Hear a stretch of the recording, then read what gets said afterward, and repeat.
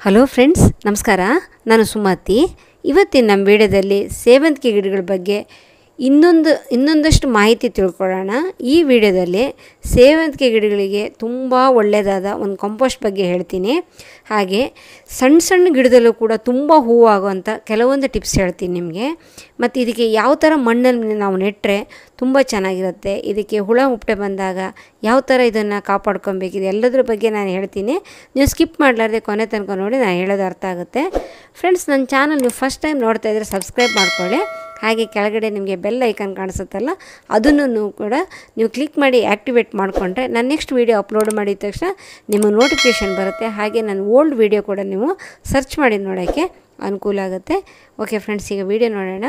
ತುಂಬ ಜನರದ್ದು ಒಂದು ಪ್ರಶ್ನೆ ಏನಂದರೆ ಸೇವಂತಿಗೆ ಗಿಡದಲ್ಲಿ ಗಿಡ ತುಂಬ ಹೂವು ಬರಲ್ಲ. ಯಾಕೆ ಅಕ್ಕ ಅಂತ ಕೇಳಿದ್ದಾರೆ ಇನ್ನೊಂದು ಕೆಲವರು ಇದಕ್ಕೆ ಫಂಗಸ್ ಬರುತ್ತೆ, ಸತ್ತೋಗ್ತಾ ಇದೆ, ಏನು ಮಾಡಬೇಕಂತ ಕೇಳಿದ್ದಾರೆ ಆಮೇಲೆ ನೆಕ್ಸ್ಟು ನಾವು ಹಳೇದು ಒಂದೆರಡು ವೀಡಿಯೋ ಆಲ್ರೆಡಿ ನಾವು ನೋಡಿದ್ದೀವಿ. ಅಂದರೆ ಕಟಿಂಗ್ಸು ಹೇಗೆ ನೆಡೋದು ಅಂತ, ಆಮೇಲೆ ಬೇರು ಬಂದ್ರ ಮೇಲೆ ಯಾವ ಥರ ನೆಡಬೇಕಂತ ನಾನು ಎಕ್ಸ್ಪ್ಲೇನ್ ಮಾಡಿದ್ದೀನಿ. ಈ ವಿಡಿಯೋದಲ್ಲಿ ಈ ಬೇರೆ ಇದು ನೋಡೋಣ. ಅಂದರೆ ನಾವು ಬೇರು ಬಂದಂಥ ಗಿಡಗಳನ್ನು ಮಣ್ಣಲ್ಲಿ ನೆಟ್ಟರ ಮೇಲೆ, ಅದು ಡೆವಲಪ್ ಆದ್ರ ಮೇಲೆ ಯಾವ ಥರ ಮಣ್ಣಲ್ಲಿ ನಾವು ನೆಡಬೇಕು ಅನ್ನೋದನ್ನು ಈ ವಿಡಿಯೋದಲ್ಲಿ ಎಕ್ಸ್ಪ್ಲೇನ್ ಮಾಡ್ತೀನಿ ನಾನು. ಇದು ನೋಡಿ, ಹಳೆ ವಿಡಿಯೋದಲ್ಲಿ ತೋರಿಸಿದಂಥ ಕೆಲವೊಂದು ಟಿಪ್ಸ್ ಇದು ಕ್ಲಿಪ್ಸ್ ತೋರಿಸ್ತೀನಿ ನಿಮಗೆ.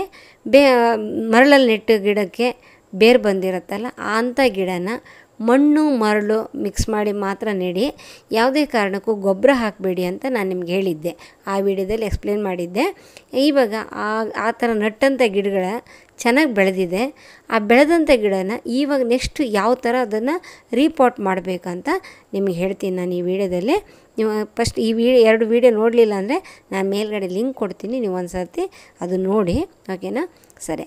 ಇವಾಗ ಈ ಮಣ್ಣು ಮರಳು ಜೊತೆಗೆ ಒಳ್ಳೆ ಗೊಬ್ಬರ ಕೂಡ ಮಿಕ್ಸ್ ಮಾಡಬೇಕು. ತರ್ಡ್ ಸ್ಟೆಪ್ಪಲ್ಲಿ ಈ ಕಟಿಂಗ್ ನೆಟ್ಟಂಥ ಗಿಡಗಳಿಗೆ ತರ್ಡ್ ಸ್ಟೆಪ್ಪಲ್ಲಿ ನಾವು ಒಳ್ಳೆ ಗೊಬ್ಬರ ಮಿಕ್ಸ್ ಮಾಡಬೇಕು. ಯಾವ ಥರದ ಗೊಬ್ಬರ ಅನ್ನೋದು ಕೂಡ ನಾನು ಹೇಳ್ತೀನಿ ವಿಡಿಯೋದಲ್ಲೇ. ಮಣ್ಣು ಮರಳು ಇದು ಮಾತ್ರ ತರ್ಟಿ ತರ್ಟಿ ಪರ್ಸೆಂಟ್ ಮಿಕ್ಸ್ ಮಾಡಿ, ಆಮೇಲೆ ಒಂದು ಟೆನ್ ಪರ್ಸೆಂಟು ಕೈಬೇವಿನ ಹಿಂಡಿ ಇದ್ರೆ ಹಾಕಿ. ಓಕೆನಾ? ಇದು ನೋಡಿ, ನಾನು ಆ ಥರ ಕಲಸಿಟ್ಟಂಥ ಮಣ್ಣಿದು. ಆಲ್ರೆಡಿ ಇದು ಫಸ್ಟೇ ಕಲಸಿಟ್ಟಿದ್ದೆ ನಾನು. ಒಂದು ಹದಿನೈದು, ಇಪ್ಪತ್ತು ದಿವಸ ಮುಂಚೆನೇ. ಅಂದರೆ ಅದಕ್ಕೊಂದು ಸ್ವಲ್ಪ ಸೆಟ್ ಆದರೆ ತುಂಬ ಚೆನ್ನಾಗಿ ನಮ್ಮ ಗಿಡಗಳಲ್ಲಿ ಬೆಳವಣಿಗೆ ಕಾಣಿಸುತ್ತೆ. ಇದು ದೊಡ್ಡ ದೊಡ್ಡ ಈ ಪಾಟಲ್ಲಿ ದೊಡ್ಡ ದೊಡ್ಡ ಹೋಲ್ಸ್ ಇದೆ. ಅಂದರೆ ಡ್ರೈನೇಜ್ ಹೋಲ್ಸ್ ಇದೆ. ಅದನ್ನು ಕವರ್ ಮಾಡೋಕ್ಕೆ ನಾನು ಈ ತೆಂಗಿನ ಸಿಪ್ಪೆ ನಾರು ಹಾಕಿದ್ದೀನಿ ನೋಡಿ. ನಿಮ್ಮ ಹತ್ರ ಈ ತೆಂಗಿನ ನಾರು ಇರಲಿಲ್ಲ ಅಂದರೆ ಏನು ಮಾಡಬೇಕಂತ ಒಂದು ಕ್ವಶನ್ ಬರುತ್ತೆ. ಇಟ್ಟಿಗೆ ಚೂರುಗಳಿದ್ದರೆ ಇಟ್ಟಿಗೆ ಚೂರು ಹಾಕ್ಬೋದು. ಇಲ್ಲಾಂದರೆ ಪಾಟ್ಸ್ ಒಡೆದೋಗಿರುತ್ತಲ್ಲ, ಮಣ್ಣಿನ ಪಾಟ್ಸು ಅಂಥ ಚೂರುಗಳನ್ನ ಹಾಕ್ಬೋದು. ಇಲ್ಲ ಅಂಥೇಳಿ ಏನೂ ಇಲ್ಲ ಅಂದರೆ ಒಣಗಿದ ಎಲೆ ಆಗಲಿ ಅಥವಾ ಒಣಗಿದ್ದು ಇದು ಹುಲ್ಲಾಗಲಿ ಇಂಥದ್ದೇನಾದ್ರು ಹಾಕಿಬಿಟ್ಟು ಕವರ್ ಮಾಡಿ ಆಮೇಲೆ ಮಣ್ಣಿನ ಮಿಶ್ರಣ ನಾವು ತುಂಬ್ಕೊಂಡ್ರೆ ಆಮೇಲೆ ಅದೇನಾಗುತ್ತೆ ಅಂದರೆ ನೀರಲ್ಲಿ ಮಣ್ಣು ಕರಗಿಬಿಟ್ಟು ಹೋಗಲ್ಲ. ಸರಿ, ಈಗ ಗೊಬ್ಬರ ನೋಡಿ ಯಾವ ಥರದ್ದು ಹಾಕಬೇಕಂತ. ಇದು ಕೌಡಂಗ್ ಕಾಂಪೋಸ್ಟ್ ಅಂದರೆ ದನದ ಗೊಬ್ಬರ ಇದು. ದನದ ಗೊಬ್ಬರ ತುಂಬ ಚೆನ್ನಾಗಿ ಕೆಲಸ ಮಾಡುತ್ತೆ. ಈ ಸೇವಂತಿಗೆ ಗಿಡಕ್ಕಾಗಲಿ, ಗುಲಾಬಿ ಗಿಡಕ್ಕಾಗಲಿ, ಯಾವುದೇ ಥರ ಹೂವಿನ ಗಿಡಗಳಿಗೆ ಈ ದನದ ಗೊಬ್ಬರ ತುಂಬ ಚೆನ್ನಾಗಿ ಕೆಲಸ ಮಾಡುತ್ತೆ. ನಮ್ಮ ಹತ್ರ ಕೌಡಂಗ್ ಕಂಪೋಸ್ಟ್ ಇಲ್ಲ ಅಂದರೆ ಏನು ಮಾಡಬೇಕಂದ್ರೆ ನಿಮ್ಮ ವರ್ಮಿ ಕಂಪೋಸ್ಟ್ ಹಾಕ್ಬೋದು. ವರ್ಮಿ ಕಂಪೋಸ್ಟ್ ಕೂಡ ಸೇಮ್ ಅದೇ ಕೆಲಸ ಮಾಡುತ್ತೆ, ತುಂಬ ಚೆನ್ನಾಗಿ ಕೆಲಸ ಮಾಡುತ್ತೆ. ಇದು ನೋಡಿ ಓಲ್ಡು ಗಿಡನ ನಾ ಸೆಕೆಂಡ್ ಪಾರ್ಟಲ್ಲಿ ಹೇಳಿದ್ನಲ್ಲ ಅಂಥ ಗಿಡನ ತೆಗೆದುಬಿಟ್ಟು ಈಗ ನೆಡ್ತಾ ಇದ್ದೀನಿ ನಾನು. ಇದು ನೋಡಿ ಎಷ್ಟು ಚೆನ್ನಾಗಿ ಬೆಳೆದಿದೆ. ಇದನ್ನು ಪಿಂಚಿಂಗ್ ಮಾಡೋದ್ರ ಬಗ್ಗೆನೂ ಕೂಡ ನಾನು ಹೇಳ್ತೀನಿ. ಅಂದರೆ ಪೊದೆ ಥರ ಹೇಗೆ ಬೆಳೆಸ್ಬೇಕಂತ ಕೂಡ ಟಿಪ್ಸ್ ಕೊಡ್ತೀನಿ ನಾನು. ಇವಾಗ ಇನ್ನೊಂದು ಟಿಪ್ ನೋಡಿ ನಿಮಗೆ. ಈ ಗಿಡ ನೆಡ್ತಾ ಇರಬೇಕಿದ್ರೆ ಇನ್ನೊಂದು ಟಿಪ್ ಕೊಡ್ತೀನಿ. ಕೆಳಗಡೆ ಮಣ್ಣಿಗೆ ತಾಗುತ್ತಲ್ಲ ಎಲೆಗಳು, ಅದನ್ನು ದಯವಿಟ್ಟು ತೆಗೆದುಬಿಡಿ. ಅದು ತೆಗೆದಿಲ್ಲ ಅಂದರೆ ಏನಾಗುತ್ತೆ ಅಂದರೆ ಮಣ್ಣಿಗೆ ಯಾವುದೇ ಥರದ ಗಿಡಗಳ ತಾ, ಎಲೆಗಳು ತಾಗ್ದವಾಗ ಫಂಗಸ್ ಬರೋಕ್ಕೆ ತುಂಬ ಚಾನ್ಸಸ್ ಇರುತ್ತೆ. ಅದರಲ್ಲಂತೂ ಮಳೆಗಾಲದಲ್ಲಂತೂ ತುಂಬ ಜಾಸ್ತಿ ಇರುತ್ತೆ ಅದರ ಕಾಟ. ಫಂಗಸ್ ಒಂದು ಸರ್ತಿ ಬಂತಲ್ಲ ಅಂದರೆ ಗಿಡನ ಕೊಳತು ಹೋಗೋಂಗೆ ಮಾಡುತ್ತೆ. ಕಪ್ಪಾಗುತ್ತೆ ಫಸ್ಟ್ ಎಲೆಗಳೆಲ್ಲ ಮಚ್ಚೆ ಥರ ಬರುತ್ತೆ.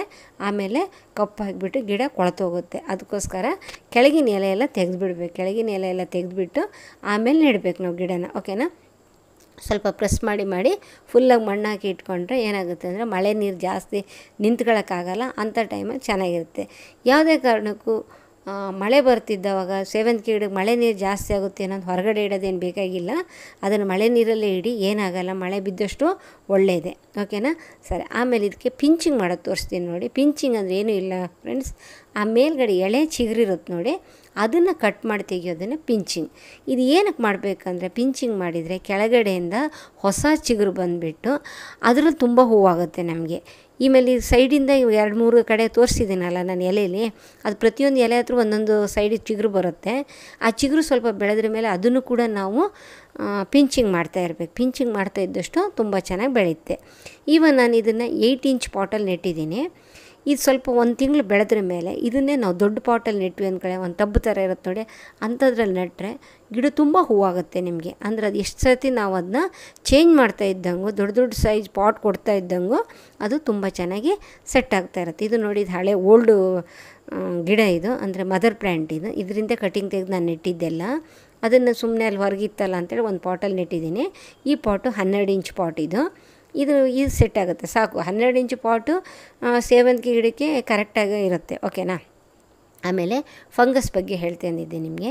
ಫಂಗಸ್ ಬಂದರೆ ಏನು ಮಾಡಬೇಕಂತ, ಅಥವಾ ಬಾರದೇ ಇದ್ದಂಗೆ ಏನು ಮಾಡಬೇಕಂದ್ರೆ ಒಂದು ಲೀಟ್ರ್ ನೀರನ್ನು ಒಲೆ ಮೇಲಿಟ್ಟು ಚೆನ್ನಾಗಿ ಕುದಿಸಿ, ಅದಕ್ಕೆ ಸ್ವಲ್ಪ ದಾಲ್ಚಿನ ಚಕ್ಕೆ ಪೌಡ್ರನ್ನ ಕುಟ್ಟಿ ಅದಕ್ಕೆ ಹಾಕಿಬಿಟ್ಟು ಸರಿ ಕುದಿಸ್ಬೇಕು.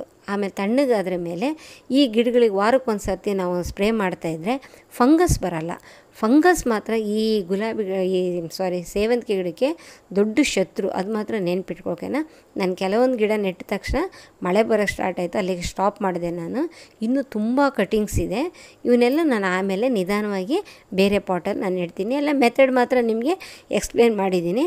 ಓಕೆನಾ ನೆಕ್ಸ್ಟ್ ಇನ್ನೊಂದು ವೀಡಿಯೋದಲ್ಲಿ ಇದಕ್ಕೆ ಹುಳ ಯಾಪಿಡ್ಸ್ ಗಿಪಿಡ್ಸ್ ಬಂದಾಗ ಏನು ಮಾಡಬೇಕಂತ ಕೂಡ ನಾನು ನಿಮಗೆ ಎಕ್ಸ್ಪ್ಲೇನ್ ಮಾಡ್ತೀನಿ ಆ ವೀಡಿಯೋದಲ್ಲಿ ಅಂದರೆ ಫೋರ್ತ್ ಪಾರ್ಟಲ್ಲಿ ಇವಾಗ ಮಾತ್ರ ಸದ್ಯಕ್ಕೆ ಇದು ಒಂದು ತಿಂಗಳವರೆಗೂ ಇದ್ರ ಬೆಳೆದ್ರೆ ಸಾಕಾಗುತ್ತೆ, ಸರಿನಾ? ಆಮೇಲೆ ನಾವು ಅದನ್ನ ಬೇರೆ ಇದು ಮಾಡಬೇಕು, ಬೇರೆ ಪಾಟಲ್ಲಿ ಶಿಫ್ಟ್ ಮಾಡ್ಕೊಬೇಕು. ಅಲ್ಲಿ ತನಕ ಗಿಡ ಬೆಳೀತಿದ್ದಂಗೆ ಪಿಂಚಿಂಗ್ ಮಾಡೋದು ಮಾತ್ರ ತುಂಬ ಅಗತ್ಯ. ಈಗ ನಿಮ್ಗೊಂದು ಸಣ್ಣ ಕ್ಲಿಪ್ಪಿಂಗ್ ಕೊಡ್ತೀನಿ ನಾನು, ಇದರಲ್ಲಿ ನಮ್ಮ ಮನೇಲಿ ಮಳೆ ಮಳೆ ಹೇಗೆ ಬರ್ತಾಯಿದೆ ಕೇಳಿ. ಅಂಡಿ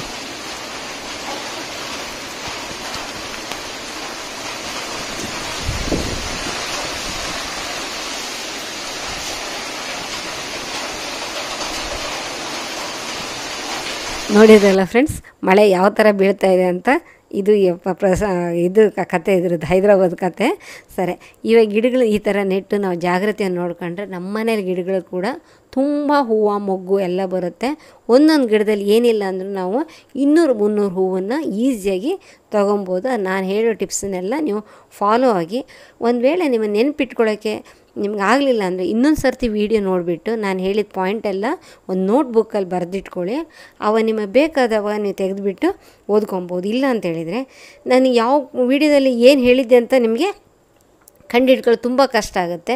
ನನ್ನನ್ನು ಕೇಳಿದರೆ ನಾನು ಯಾವ ವೀಡಿಯೋದಲ್ಲಿ ಏನು ಹೇಳಿದ್ದೇನೆ ನನಗೂ ಕೂಡ ಒಂದೊಂದು ಸರ್ತಿ ಮರ್ತೋಗ್ತಾ ಇರುತ್ತೆ. ಅದಕ್ಕೋಸ್ಕರ ನೀವು ಒಂದು ನೋಟ್ ಬುಕ್ ಮೇಂಟೈನ್ ಮಾಡಿ ನಾನು ಹೇಳೋ ಟಿಪ್ಸ್ ಎಲ್ಲ ಬರೆದಿಟ್ಕೊಳ್ಳಿ ನೀವು. ಓಕೆನಾ ಫ್ರೆಂಡ್ಸ್ ಇದು ಫ್ರೆಂಡ್ಸ್ ಈ ವಿಡಿಯೋ ನೀವು ನೋಡ್ತಾ ಇದ್ರಿ, ನಿಮ್ಗೆ ಇಷ್ಟ ಆಗಿದೆ ಅಂದ್ಕೊತಾ ಇದ್ದೀನಿ. ಪ್ಲೀಸ್ ದಯಮಾಡಿ ಒಂದು ಲೈಕ್ ಕೊಡಿ ಫ್ರೆಂಡ್ಸ್, ಆಮೇಲೆ ನಿಮ್ಗೆ ಏನು ಅಂತ. ಅದು ಒಳ್ಳೆಯದಾಗಲಿ ಕೆಟ್ಟದಾಗಲಿ ಅದ್ರ ಬಗ್ಗೆ ನಂಗೆ ಕಾಮೆಂಟ್ ಮಾಡಿ ಹೇಳಿ. ನೀವು ಕೂಡ ಕಾಮೆಂಟು ನನಗೊಂಥರ ಎನರ್ಜಿ ಇದ್ದಂಗೆ ನಾನು ನೆಕ್ಸ್ಟ್ ಯಾವ ಥರ ನಿಮಗೆ ವೀಡಿಯೋ ಕೊಡಬೇಕಂತ ನನಗೊಂದು ಐಡಿಯಾ ಬರುತ್ತೆ. ಪ್ಲೀಸ್ ಫ್ರೆಂಡ್ಸ್ ಲೈಕ್ ಮಾಡಿ ಕಾಮೆಂಟ್ ಮಾಡಿ ಓಕೆನಾ ನೆಕ್ಸ್ಟ್ ಒಳ್ಳೆ ವೀಡಿಯೋದಲ್ಲಿ ಬರ್ತೀನಿ. ಅಲ್ಲಿ ತನಕ take care friends bye bye